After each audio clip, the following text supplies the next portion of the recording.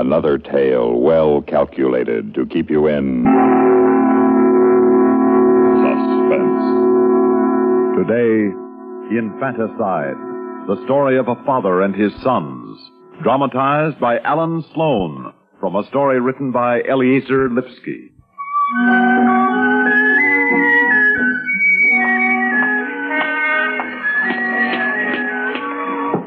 Catman live on this floor, friend? The flat down the end of the hall. How do you know? Thank you.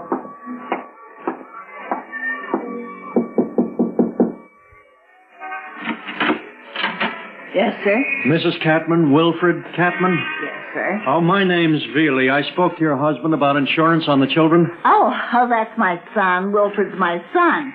My daughter-in-law's gone to work. So's Wilfred. Oh, I see. Well, Uh, but he um, told me about it. Wilfred told me about it. Mind to come in? I could sign the papers there is to sign. Yes, ma'am. Seems a good thing. And she? Oh, yes, ma'am, sure. Oh, come in. Come in. Don't mind the mess. With kids, it's follow and pick up, follow and pick Yes, up. Yes, ma'am. Now, I understand there's Willie and Chauncey. Willie and Chauncey, that's right. Chauncey, he's going on six, and Willie, he's just past seven. Uh-huh. Have 'em close together, you know, and two's easy to take care of as one. Yes, ma'am. Now, if you and your son have agreed on this insurance, you can just sign right down there where the little X is. Mm-hmm. Mm-hmm. All it. righty. Down by the little X, Yeah. right? That's it.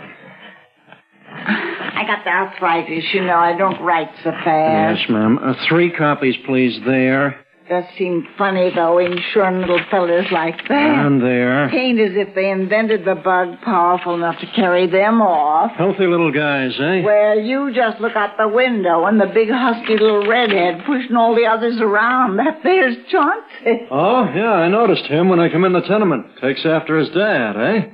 And, uh, which one's Wilfred Jr.? Oh, oh, he's sleeping. This muggy weather, the asthma takes him in the night sometimes, so we let him sleep late. Oh. We all had the asthma. We all outgrew it. Nobody never died of it in the family. Yeah, yeah, Mr. Catman told me about the asthma. It's the humidity these nights bothers him, I guess. Yes, sir, but he's a real fine boy. Not as big as his little brother, but strong and wiry. Long bones. Come fifteen, sixteen, why, he'll just shoot right up. Sure, that's the way it is. Now, you have Mr. Catman sign those. I mm-hmm. take it Mrs. Catman's at work. Oh, yes, you said that. Yes, she's Well- gone up at six thirty, and you just missed my son. He's off by eight. But you come on in, and take a look at Willie. I want you to see he's just a fine, healthy boy. Just the asthma. Oh, no, I don't think Now, I... I'll take you just a minute. He ought to be up and playing in the sunshine anyway. Bad nights, Willie sleeps with his daddy and mommy.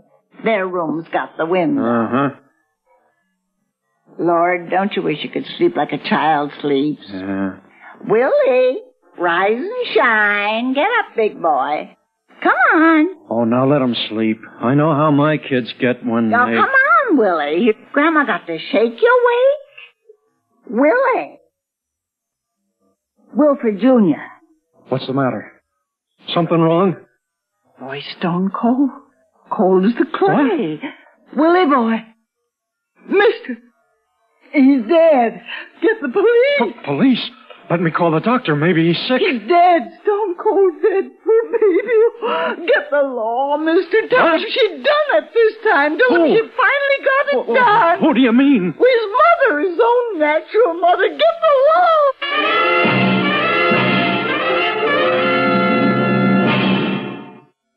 In just a moment, we will return for the second act of Suspense. And now, here's a message from the watchmakers of Switzerland. Swiss vacation. Hallelujah. Swiss vacation. Win a fabulous vacation for two in beautiful Switzerland. Enter the Swiss Vacation Contest. It's easy. Nothing to buy. Pick up a free entry blank at a jewelry store or other store that sells quality watches. Then in 25 words or less, complete this statement. A quality watch is the best value because there are 1,000 prizes. First prize, a 21-day vacation for two in Switzerland. You fly deluxe Swissair both ways. Visit many colorful places. All expenses paid for two people, plus $500 extra spending money. Second, third, and fourth prizes. 15-day Swiss vacations for two. Also, four mink stoles, Eight Bolex movie cameras and projectors. 12 Hermes typewriters, 160 $100 watches. 812 gala assortments of Tobler Swiss chocolates. Enter the Swiss Vacation Contest today. Free entry blanks at your jewelry store.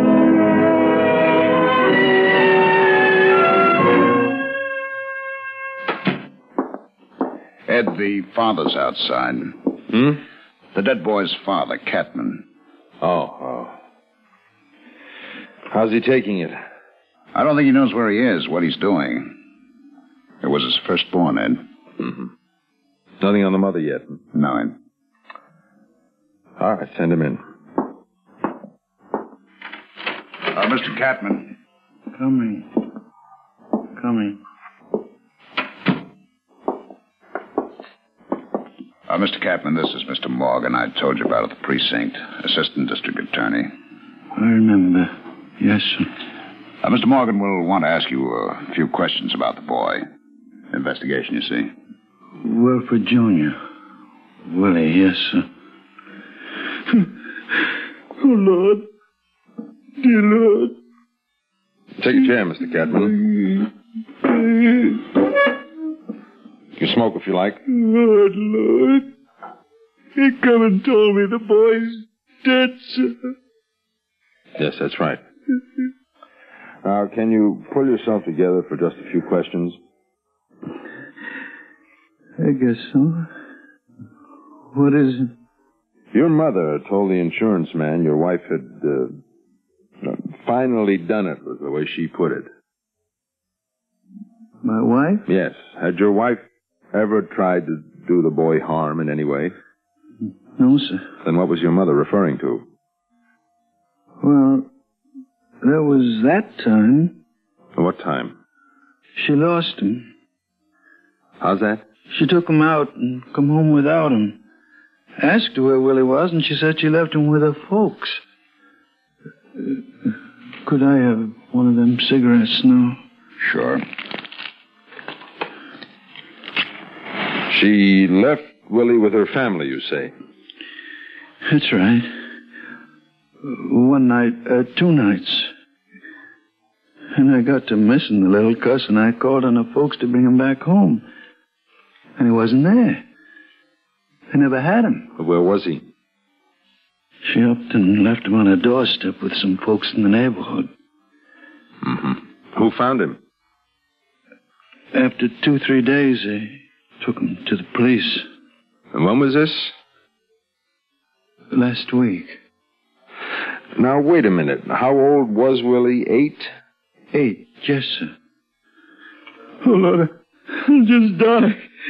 Just let me die. Left him in the neighborhood and he couldn't find his own way home? An eight-year-old? Told him to stay put. Your wife told him. Yes, sir. But the police returned him. Now, who notified them? I guess I did. When was this? Last week? Around then. A little longer, I guess. Around this time last year, seems like. Mr. Catman, do you know where you are? Police. What month is this? Summertime? Detective Russell, may I see you for a minute? Yes, Mr. Morgan.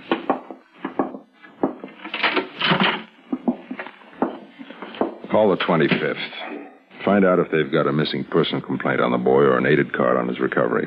Okay, sure. Now, Mr. Catman. Mister, uh, I didn't rightly get your name, Mister. Morgan. Let me ask. Could I rest up a bit? You want me to hold off on the questions for a while? Uh, yes, sir. Is it all right if I pray in here? Well, I. Yeah, of course. I haven't called upon the Lord not once yet to let the little fellow not be dead. I'd like to call upon the Lord to let it all not be. Now, Mr. Catman, get hold of yourself. It's very important. Excuse me. Morgan. Ed, on the wife losing the boy, they remembered it down the precinct. I talked to the detective who investigated. Did it happen? Not exactly the way he told it. She left him with friends, all right, but it was on account of a fight they'd had. The man and the wife. Right. Well, anyway, the way the wife was afraid he'd harm the boy. By the way, the 25th has everybody out looking for her. She never turned up at work. Yeah, well, what was the fight about? The boy's father. What? And what were they fighting about? That's what the fight was about, Ed. A running fight since the boy was born. Who was the father? Catman isn't. Mr. Catman, let's get back to Willie. He wasn't your child, you said. Uh, no, sir. I was in the army. He couldn't have. But it was like he was. Was what? My own. Uh-huh. Did you like him? Not at the first. But when. Well, when you put out your finger in this little thing like a hand on a little mama doll with them deep creases to the wrist, you know. When it grabs hold like it was all there was in the world to hang on to for safety and trust.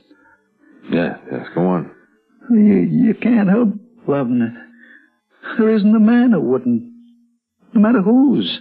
You loved Willie as a baby. And a boy, too. Oh, dear Lord. Can I see him? I never got to see him yet, sir. Later. Did he ever know you weren't his daddy? Not unless he heard us arguing over it, me and her. How did he feel about you? Same way. Love me. I wouldn't trust nobody else. How do you know that? Uh, like with the needles. Hmm? It was the asthma. He, had to have the needles. Injection. The shots. Yes, sir. Uh, and he wouldn't let the doctor. Uh, unless I held him. Only me. He said, I know it won't hurt, because my daddy wouldn't let you. Wouldn't let you what? Hurt him. I wouldn't let Morgan. This is Sergeant Bowen, 25th. Yes, Sergeant. On that dead boy, we went over the bathroom, Mr. Morgan. The toilet was stopped up, so we took a snake to it. What did you find? A necktie.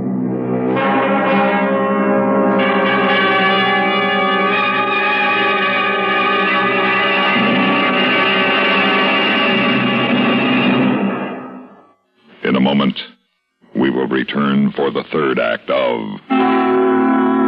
Suspense. Hola, amigo. You want to know about stereo phonographs? Listen to my last bullfight on ordinary stereo. Ole. But now, Columbia Stereo 1.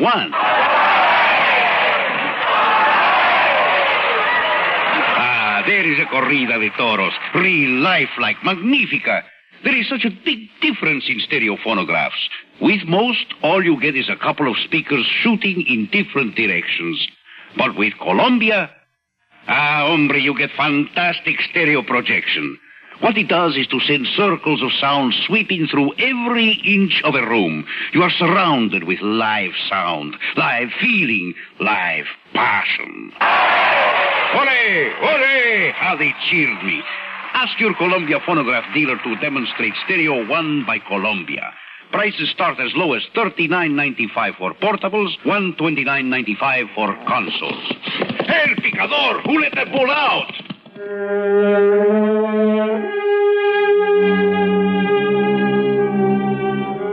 He'd have these asthmatic attacks at night, you'd say. And he'd wheeze and go for breath and couldn't catch it. And he'd cry out, Daddy, I can't breathe. And we'd take him into our bed. We had the window. Mm-hmm. Then he'd sleep.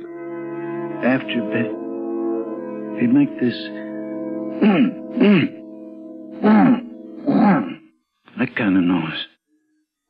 Drive you crazy. What could you do? Wake him up. Willie, I'd say. Willie, you're snorkeling again. Sleep quiet, boy, I'd say. Sleep quiet. Man's got to get his rest. What would he say? Mostly nothing. And go back to sleep. But sometimes just, Daddy, mm, like that. Mm, and go on snorkeling. All right, now this morning you said he had it pretty severely, the asthma. Yes, sir. So your wife gave him a bath. Yes. Now, why did she do that? They they said at the clinic lukewarm baths when it got too much for him, calm him down, relieve the worry the fear. The fear of choking to death. Well, that's how it is with the asthma, sir. Calm him down in the bath. Mm-hmm. So she gave him one and she got up for work. This was what time did you say? Six o'clock. Excuse me. Morgan. Ed, I got two things. One, the medical examiner's report. Strangled? No, no, no. The necktie must have been used to tie his wrists. They were the marks. Cause of death. He was drowned. Good heavens. What else? I was talking to the other boy, Chauncey, when the mother came home. He corroborated what she said. Willie was alive in the bed and making odd noises, so Daddy, that's Catman. Catman said, Come on, Willie. I'm going to give you a bath.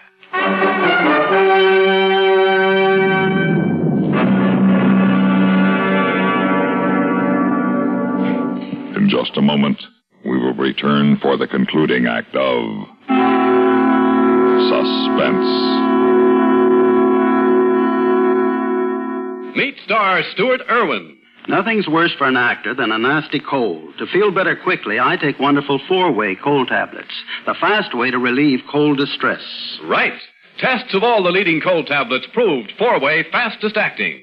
Four way starts in minutes to relieve muscular pains, headache, reduce fever, calm upset stomach, also overcomes irregularity. Take my advice. For your next cold, take four way cold tablets, the fast way to relieve those cold miseries. Four way, only 29 cents. Our program will continue in a moment after a word about another fine product of Grove Laboratories. Does dandruff dull your hair, leave scalp itchy? Get Fitch Dandruff Remover Shampoo and get rid of unsightly dandruff in three minutes. Three minutes with Fitch regularly is guaranteed to keep embarrassing dandruff away forever. Apply Fitch before wetting hair, rub in one minute. Add water, lather one minute. Rinse one minute. Every trace of dandruff goes down the drain. Three minutes with Fitch, unsightly dandruff's gone. Fitch can also leave your hair up to 35% brighter. Fitch Dandruff Remover Shampoo.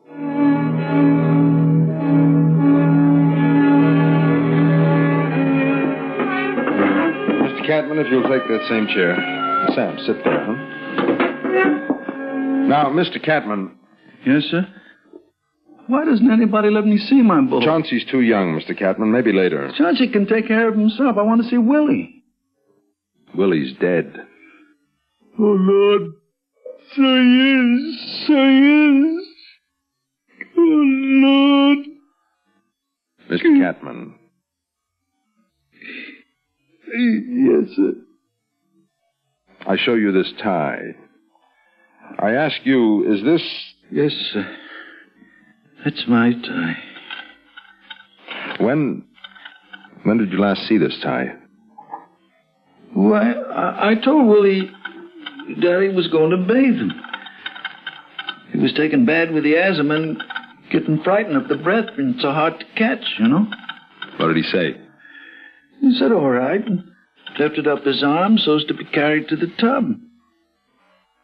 I shut the bathroom door with my elbow. I was carrying Willie, you see. The tie. Well, I, I, I tied his hands. What did he say then? Asked me what for, and I, I said to play cops and robbers. It was really so there'd be no splashing. And then? I give him a bath. Did you. Tell me, what did you do then? I looked at him. With his hair all brown and long. Not stick uppy red like mine and Chauncey's. That's my real son, Chauncey. He's going on six, you know. Yes. You thought of Chauncey? Chauncey, yeah. And I wished I loved my Chauncey like I loved her, Willie. I mean, Willie isn't my own boy, you know. Did you know that? And there was Willie. And he wasn't mine. And I was caring for him and doing for him. And I was always doing for him and fretting for him. And loving him because he was weak, I guess. He'd have to know someday his daddy wasn't his. And I loved him so. All mother naked, like a little frog in there. And loving me back, trusting me. and I knew I didn't love my own child. That's Chauncey said. Didn't at all, not half, no less, so much as Willie.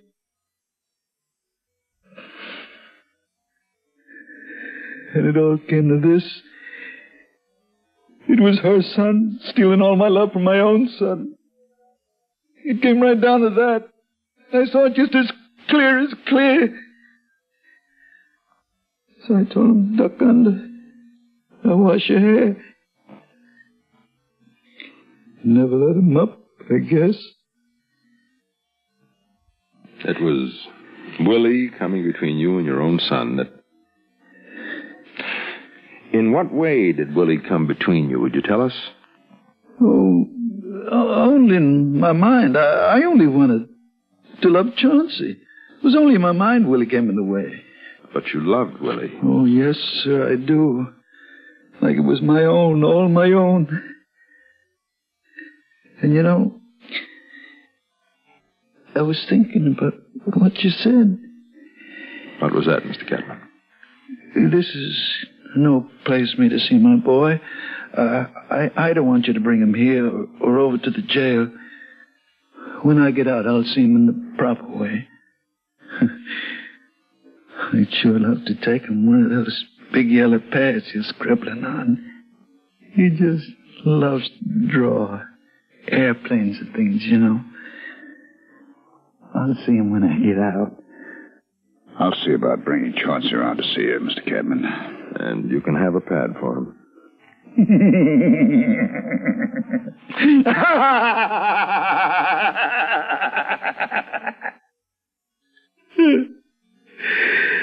oh, you keep getting mixed up. Chauncey's rough and tough. He's like me. He can take care of himself. It's Willie I want to see, that Willie boy. Wilford Jr. is named after me, but he isn't mine. Did I tell you that? He loves me. He trusts me. I'd like to bring him home. Surprises. Ed, haven't you got enough, can't you? Yeah, yeah, sure. Mr. Catman, go with the man. I thank you kindly. You've all been most kind.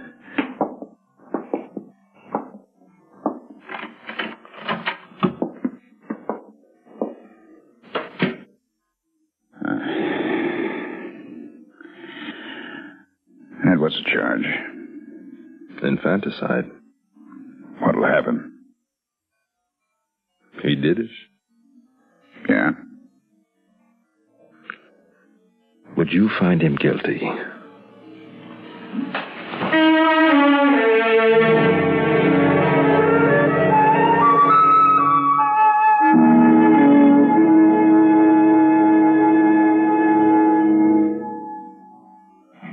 Suspense.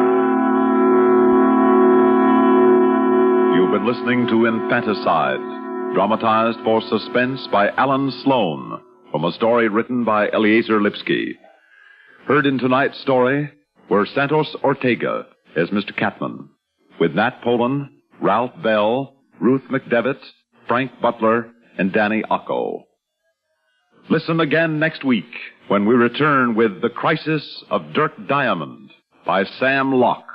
Another tale well calculated to keep you in suspense on CBS Radio.